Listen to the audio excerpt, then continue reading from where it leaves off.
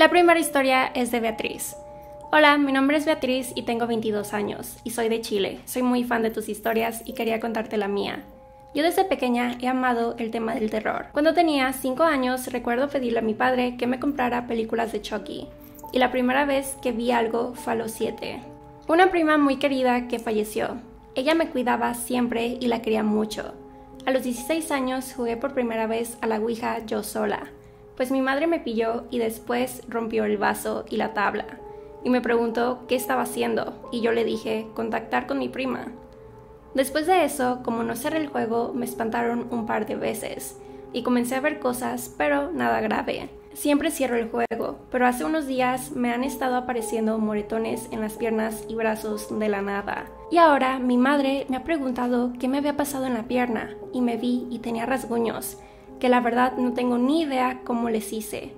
Y también me apareció un moretón en mi brazo de la nada. Como te dije, si tienes algún consejo o algo, se los agradecería, porque no entiendo si siempre cierro el juego. Amo tu canal, un beso desde Chile. Saludos, muchas gracias por mandarme tu historia. También me mandó estas fotografías que les puse mientras leía la historia y wow, se ven se ven muy muy fuertes. Los moretones son grandes y yo me asustaría muchísimo si eso me pasara a mí. No sé qué consejo darte porque la verdad yo nunca he jugado a la Ouija, me da muchísimo miedo y le tengo mucho respeto, así que prefiero no hacerlo. Pero he escuchado algunas historias similares a las tuyas, en las cuales mientras duermes hay algunos demonios que te contactan o se te aparecen y comienzan a hacerte daño. También una vez escuché una historia acerca de una chica que también le aparecían moretones mientras dormía, pero no era porque algún demonio o fantasma le estuviera pegando y haciéndole esos moretones, sino porque le estaba robando la energía y se manifestaba en estos rasguños o, marcas en el cuerpo. Me da mucho miedo, entonces no sé si podrías tal vez hacer una limpia en tu habitación, en tu casa o a ti misma y tal vez de esa manera podrías espantar a lo que sea que te está haciendo daño. Pero qué miedo, porque una cosa es que se te aparezcan, que puedas ver cosas, y otra muy diferente es que ya te estén provocando algún daño físico. La siguiente historia es de Victoria. Hola Pau, soy Victoria. Mi historia es un poco larga, espero y la leas. Mi tío murió hace casi un año. Él tenía un cáncer muy grave que le debilitó los huesos, por lo que no podía caminar con facilidad. Casi un mes antes de su muerte se fue a vivir con mi abuela. Dormía en la habitación donde actualmente duerme mi abuela. Un día, en esa misma habitación, sufrió un ataque severo. Lo llevaron al hospital, donde lamentablemente murió. Más o menos una semana después de su muerte, mi mamá tenía que irse de viaje por trabajo, por lo cual yo tenía que quedarme en la casa de mi abuela. Me llevaron a su casa y la mayoría del día me la pasé con mis amigos callejeando y jugando en el barrio, hasta que mi abuela me llamó a comer. Ya eran casi las 7, 8 de la noche, por lo que me tenía que entrar ya. A la hora de dormir, mi abuela me dijo que iba a dormir conmigo en la habitación donde duerme ella, precisamente donde dormía mi tío. Nos acostamos y a dormir. Al rato me desperté por un fuerte zumbido en el oído. Me acomodé y traté de dormir. Al momento de acomodarme sentí como alguien me agarraba el pie, una mano fría y delgada. Sentí como me agarró mi dedo gordo del pie y lo jaló fuerte.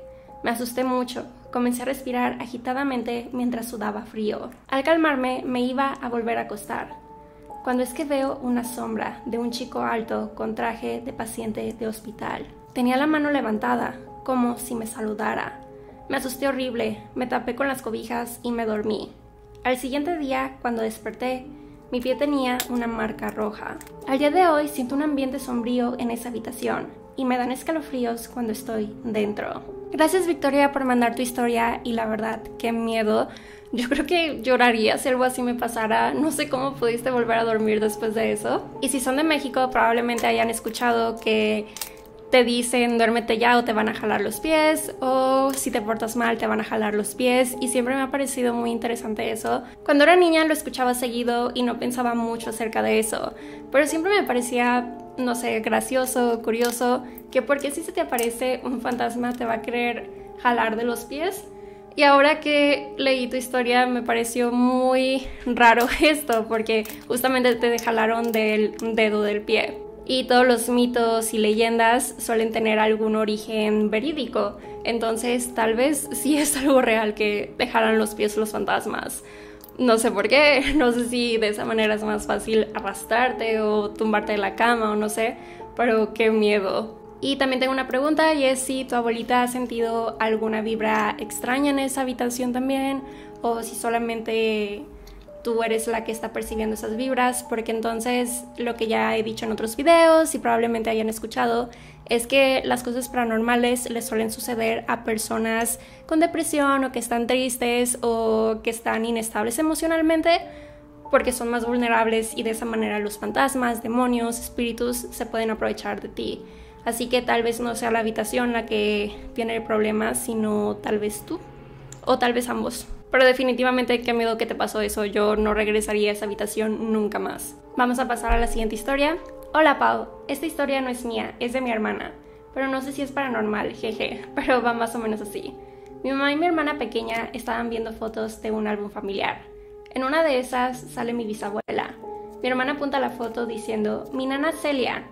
La cosa es que mi bisabuela había fallecido después de que yo nací. Está algo corta, pero me gustan tus videos, te quiero mucho.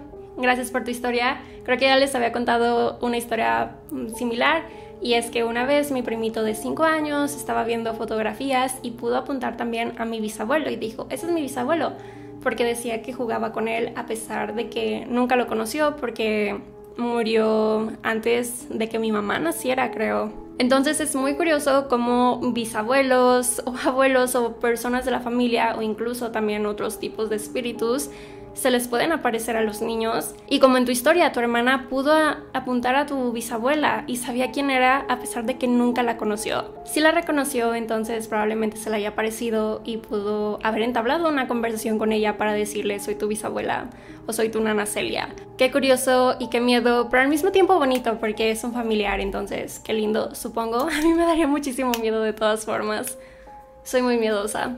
Y la última historia que vamos a leer en este video es de Kiani, que por cierto se me olvidó mencionarlo al principio, pero si me quieres mandar tu historia paranormal, hazlo al correo que va a estar apareciendo aquí, también va a estar en la descripción. Y la historia de Kiani dice, Hola, mi nombre es Kiani y me gustaría contarte un momento paranormal que viví de pequeña. Yo vivía con mis papás en una habitación en la casa de mis abuelos. Yo tenía siempre la costumbre de tener una luz de mi parte de la habitación porque me daba miedo la oscuridad. La cama de mis papás y la mía estaban casi a la par, pero en el lado de mi cama había como una bajada, escalera, que uno fácilmente bajaba y podría estar debajo de mi cama. Recuerdo que ese día ya íbamos a dormir normal y prendí un foquito que tenía color azul al lado de mi cama. Luego, más noche me despierto y noté que tenía el foquito apagado. Lo prendí y me dormí. Después me volví a despertar y estaba de nuevo apagado pero en eso me siento en mi cama y me quedo viendo hacia adelante un rato. Luego de eso vi una sombra negra con ojos rojos, que me quedó viendo fijamente. Yo todo inocente me acerqué, pero no tanto, y le dije, hola, me llamo Kiani, ¿y tú? Y no sé, sentí algo raro, como un pensamiento que me decía, eso no es una persona. Me quedé paralizado un momento y luego empecé a gritar, llamando a mis papás y vi que la sombra volteaba a ver a los lados y luego se fue debajo de mi cama. Llegaron mis papás y los abracé y les expliqué lo que pasó. Desde ese día cambiaron las camas de posición. Donde estaba la mía pusieron la de ellos y viceversa. Luego de eso, cada que yo bajaba ahí, tenía una caja de juguetes debajo de mi cama. Me daba una mala vibra y cuando ya subía tenía ese sentimiento de salir corriendo. Nunca me gustaba estar sola y si era así, abría la puerta de la habitación. Muchas veces tenía pesadillas con eso. Habían veces que dormía con mis papás y yo me quedaba viendo ahí, donde apareció esa sombra, y recogía las piernas por miedo a que volviera.